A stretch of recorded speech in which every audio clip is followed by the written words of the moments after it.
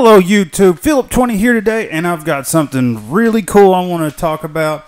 It's a Magnum Pure Sine Wave 4400 watt, 48 volt inverter. This is an inverter charger. It's going to uh, be able to stack. You can put like six or eight of them together and run whatever you need. six or eight of these inverters. That'd be a monstrous inverter. Um, so I've got the AIMS inverter, and it still functions, but it's struggling with uh, turning on and off before and now. It uses about 4.8 kilowatts of energy a day, and the uh, Magnum uses that. That's just for being on. That's not the efficiency curve. That's not how efficient it is whenever it's running at a, that certain percentage of efficiency that is for it to be on. So I decided to go with an inverter that instead of using 185 watts to 200 watts for being on, and that's continuously on, to an inverter that uses 26 watts. No, it's 25 or 24 watts, something like that. It's ridiculously low compared to the other one. So, yeah, I could run an inverter like that all night long. I mean, but it automatically turns on and off, and that uh, has a transfer switch on the inverter itself. But what you're going to be looking at is uh, me doing it similar. And I'm going to clean up my system a little bit better. It's going to be uh, pretty cool looking. You're going to like it.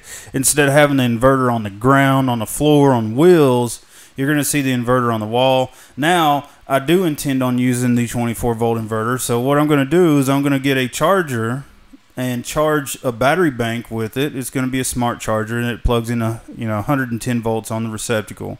Not a whole lot, just something that it, you know charge up the battery as needed. And I'm going to attach the uh, AIMS inverter to a stove, and it's going to run my stove. So whenever I'm cooking, I'm running off of a 24 volt battery bank, and whenever I'm running the sensitive parts to the house, I'll be running off of uh, the other stuff, which is going to be really cool. I'm going to put the uh, charger that's going to be for the 24 volt on a timer, so it times on whenever you know the system turns on and runs, and you know turns off whenever you know whenever because it'll be you know I'll be running the charger off of solar power from the Magnum inverter. It's going to be really cool. I'm really excited to get this going. And I want you guys to know that it's coming today. I'm so happy. Gosh, you're going to love this. It's going to be a great uh, addition. I'm going to show exactly how I do every part on every step. And you guys are going to like it. It's going to be a slow process, but I'm going to be putting out a bunch of videos for you and that way you can see exactly what I'm doing. I'm going to uh, show you, tell you what I'm going to do. Then I'm going to take it out and then I'm going to do it. Now, I may cut a bunch of the time for, you know, screwing a screw in or just, you know, turning something. And, you know, I might do some time lapses. I haven't done any of those. I'm going to have to look into that, figure out what we need to do to do some time lapses.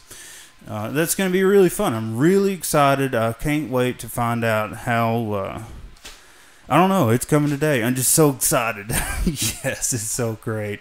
I'll be able to run a lot more efficient because it's going to be a 94% efficiency versus uh, the 85% efficiency of the uh, current inverter I've got. And that's really cool.